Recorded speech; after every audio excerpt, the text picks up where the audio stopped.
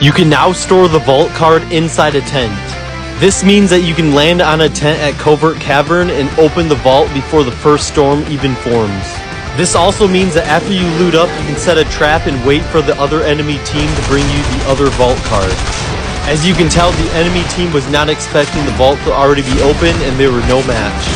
Once you defeat them, you can put the second vault card back into your tent for next game. Share this video with your friends to let them know about this new trick, and if you learned something new, consider dropping a follow.